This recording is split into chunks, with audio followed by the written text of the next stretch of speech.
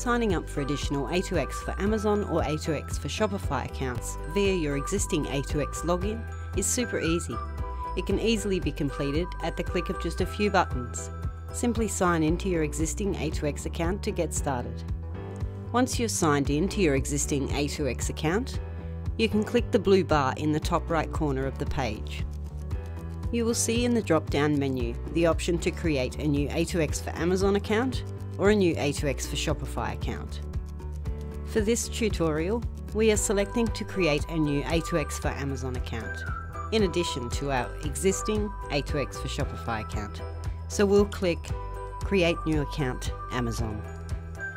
You'll be redirected to the account creation confirmation page, where you can click Continue to New Account. The first thing to do is name your new account. This will make it nice and easy when flicking between the accounts in A2X.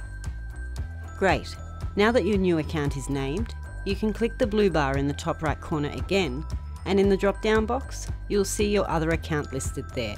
This is also how you will switch between your A2X accounts. An easy way to confirm which account you're in is to look at the name showing in the blue bar. In the drop down, we now see an account overview menu option. If selected, you'll be directed to a page that will list the A2X accounts under your login. If you need to create additional A2X accounts, you can repeat this same process.